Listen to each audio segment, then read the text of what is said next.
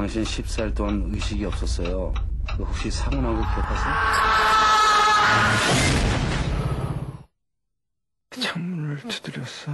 하얀 꽃을 들고.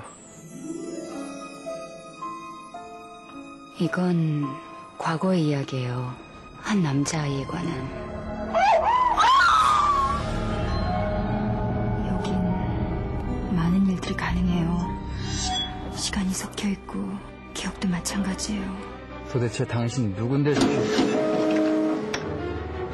도대체 당신 누군데 누구야? 누구야? 뭐 하는 새끼야? 누구야 이 개새끼야!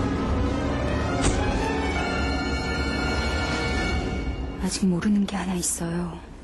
당신의 기억이 왜 그렇게 혼란스러운지. 머리가 쪼개지는 것 같아.